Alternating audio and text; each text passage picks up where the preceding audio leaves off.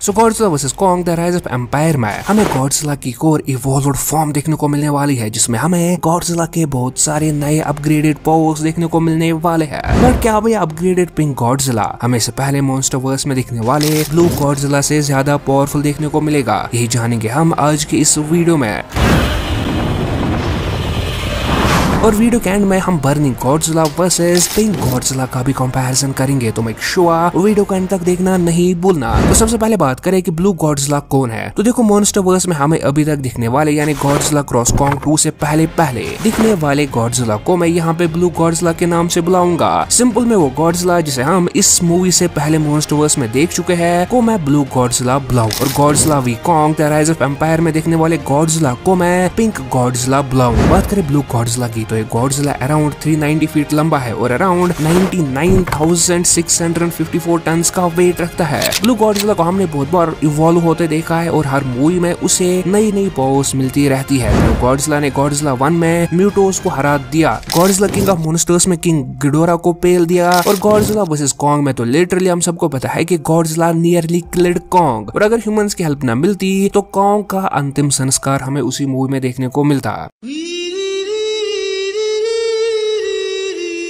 बात करें ब्लू गॉर्जला की पावर्स की तो पहले तो है उसकी इमेंस स्ट्रेंथ जिससे वो बिल्डिंग्स को ढेर कर चुका है। सिर्फ़ अपने चलने से वो अर्थ क्विक्स प्रोड्यूस कर सकता है यहाँ तक कि स्ट्रेंथ में गॉर्जला कॉन्ग से भी आगे है। ड्यूरेबल डिवाइस है बंदा दो तीन बार पॉइंट ब्लैंक रेंज में न्यूक्लियर ब्लास्ट को सर्वाइव कर चुका है। पहले तो 1954 में जब मोनॉक ने किया था, दूसरा गॉर्जला किंग ऑफ़ मोनस्टर्स में डॉक्टर सेरोजावा के सेक्रीफाइस के बाद हैक इन ब्लास्ट ने दो गॉर्जला को और स्ट्रॉन्ग बना दिया था, क्योंकि हमने देखा है कि मोनस्टर्स में मोनस्टर्स रेडिएशन पे ही ज़िंदा रहते हैं। बात करें ब्लू गॉड्सला की एटॉमिक ब्रेथ की तो उसके एटॉमिक ब्रेथ इतनी पावरफुल है कि वो सरफेस से हॉलो अर्थ तक पूरे अर्थ को चीर डाला था। मोनस्टरवर्स के एटॉमिक ब्रेथ बाकी वर्जंस ऑफ़ गॉड्सला में सबसे वीकेस्ट मानी जाती है। और गॉड्सला हैंडबुक में हमें बताया गया है की गॉड्सला के एटॉमिक ब्रेथ का टेम्परेचर 20,000 डिग्री सेल्सियस है। अब तुम बोलोगे की क्या भाई मेका गॉड्सला ने तो गॉड्सला की एटॉमिक ब्रेथ को पावर कर दिया था? इस चीज़ को समझाने के लिए आपका ये जाना इंपॉर्टेंट है की गॉड्सला अपनी एटॉमिक ब्रेथ को एज लास्ट रिजोर्ट की तरह यूज़ करता है। जब उसे आता है कि वो अपने अपोनेंट को स्ट्रेंथ में नहीं हरा पाएगा, तभी वो एटमिक ब्रेथ का यूज़ करता है। और अब हमने गॉडजिला वर्सेस मेका गॉडजिला की फाइट में देखा कि गॉडजिला ऑलरेडी वीकनेड स्टेट में था। जब वो मेका गॉडजिला से फाइट कर रहा था, इसलिए उसकी एटमिक ब्रेथ भी वीक हो गई थी। और यहाँ तक कि मूवी के राइटर ने कहा है कि अगर गॉडजिला अपनी फुल पावर पे होता तो एटमिक ब्रेथ मेगा गॉडजिला पे बारी पड़ती और सिर्फ़ एटमिक ब्रेथ के दो चार अटैक्स मेका गॉडजिला को डिस्ट्रॉय कर सकती है। मतलब यहाँ पर राइटर का कहना है कि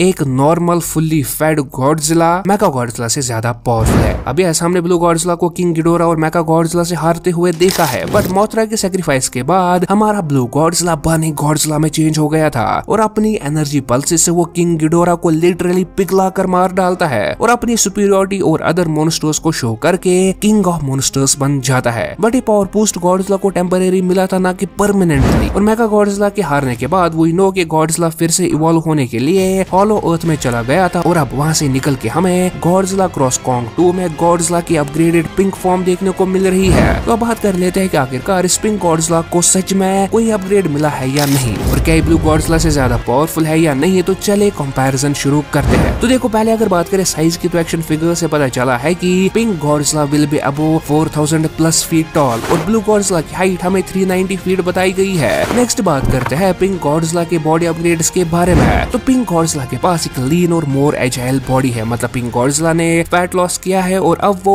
और ज़्यादा फुर्तीला और फास्ट बन गया है। लाइक जैसे हमने देखा कि कैसे गॉडजिला कॉन्ग से भी ज़्यादा फास्ट दौड़ रहा है। जैसे से पहले भी हम गॉडजिला को दौड़ते हुए देख चुके हैं बट इतना एजाइल और आसानी से गॉडजिला मूवमेंट नहीं कर पाता था। Like literally pink Godzilla human की तरह दौड़ रहा है, पर अब पिंक गॉड्सला को एवोल्यूशन में ये सब अपग्रेड्स मिले कैसे? तो गॉड्सला वर्सेस कॉन्ग वन की फाइट में हमने देखा कि कैसे मेका गॉड्सला हमारे गॉड्सला से ज़्यादा फास्ट और फुर्तीला था, और गॉड्सला उसे ज़्यादा डैमेज नहीं दे पा रहा था। और सिर्फ़ कॉन्ग की हेल्प से वो मेका गॉड्सला को हरा पाए थे और इसके अलावा we know for a fact कि गॉड्सला अभी भी इवॉल्व कर रहा है। तो आई थिंक मेका गॉड्सला की एबिलिटीज को देख के गॉड्सला के एवोल्यूशन प्रोसेस में ये सब चीज़ें स्टोर हुई होंगी और अब इस वर्जन में हमें ये सब चेंजेस देखने को मिल रही है। So I think pink Godzilla is more agile and more faster than our blue Godzilla इसके बगैर पिंक गॉड्सला की कोर अपग्रेड के बारे में बात करें तो वो है उसकी आर्म्स ब्लू गॉड्सला की आर्म्स वेर शॉर्ट वो उन्हें अपनी फाइट्स में ज़्यादातर यूज़ नहीं करता था। अगर करता भी था तो वो भी बहुत ही कम, क्योंकि उसकी रीच बहुत ही कम थी। पर पिंक गॉडजिला के आर्म्स को लॉन्ग दिखाया गया है और ये इवोल्यूशन एडवांटेज भी पिंक गॉडजिला को मेगा गॉडजिला से फाइट करने के बाद ही उसके इवोल्यूशन जेनेटिक्स में स्टोर हुई होंगी। लाइक हमने देखा कि कैसे मेगा गॉडजिला हमारे ब्लू गॉडजिला को बिल्डिंग्स के थ्रू दे मार रहा था। सो अब इस पिंक गॉडजिला के पास भी उसी प्रोपोर्शनेट की आर्म्स आ गई है। और एक चीज़ सिर्फ़ पिंक गॉडजिला को लॉन्गर मोर पावरफुल आर्म्स नहीं मिली। अगर आपने नोटिस किया होगा तो उसकी आर्म्स पे एल्बो स्पाइक्स भी लगी हुई है, जो कि से पहले हमें किसी भी वर्जन ऑफ़ गॉडजिला में नहीं देखने को मिली है। So again it's an advantage बात करें डॉसल स्पाइक्स की तो ब्लू गॉडजिला में हमने देखा कि कैसे गॉडजिला एटॉमिक ब्रेथ को अपनी स्पाइक्स के थ्रू चैनल कर पाता था और जितनी बड़ी स्पाइक्स उतनी ज़्यादा रेडिएशन वो यूज़ कर पाएगा।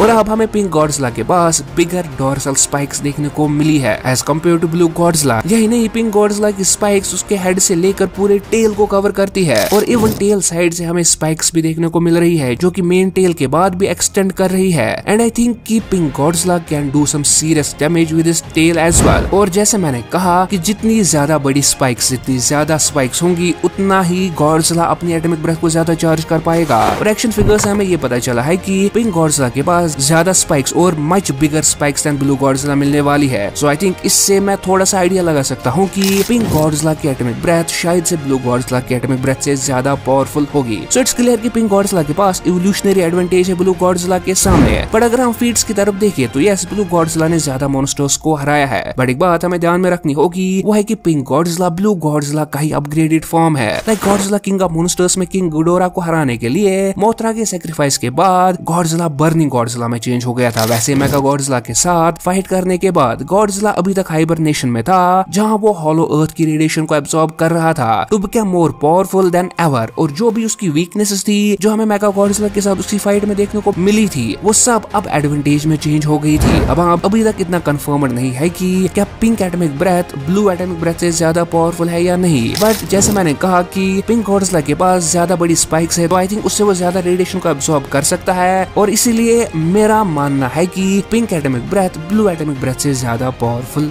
होगी। आपको क्या लगता है? आप हमें कमेंट्स में ज़रूर बताना। बट अभी के लिए फॉर श्योर मैं ये नहीं कह सकता क्योंकि इसका हमें पूरा प्रूफ मूवी आने के बाद मिलेगा। बट अभी तक हमें जितना पता चला है I think pink Godzilla will be more powerful than blue Godzilla या हर कोई वर्जन ऑफ़ गॉड्सला जो हमें अभी तक मोन्स्टरवर्स में देखने को मिला है। बट यस अब मैं यहाँ पर एक एक्सेप्शन भी बता दूँ आपको, वो है बर्निंग गॉड्सला क्योंकि burning Godzilla is the most powerful Godzilla जो हमें अभी तक मोन्स्टरवर्स में दिखा है। बट क्या पिंक गॉड्सला उसे भी उससे भी ज़्यादा पावरफुल है या नहीं, इस पे हम एक सेपरेट वीडियो लाएँगे। पर Godzilla V Kong the rise of empire movie release होने के बाद। बट अब तक के लिए आप हमें कमेंट्स में बताओ कि आपको क्या लगता है who will win burning Godzilla pink Godzilla वैसे अगर वीडियो पसंद आया हो तो वीडियो को लाइक और चैनल को सब्सक्राइब करना नहीं भूलना। हमारी दूसरी वीडियोस आने तक। आप हमारे top five most powerful version of Godzilla पे बनी वीडियो को राइट क्लिक करके या फिर गॉडजिला वर्सेस कॉन्ग टू में हमें कौन कौन से मोनस्टर्स दिखने वाले हैं। तो वीडियो देखने के लिए लेफ़्ट वाली वीडियो पे क्लिक करके वीडियोस को एंजॉय कर सकते हो।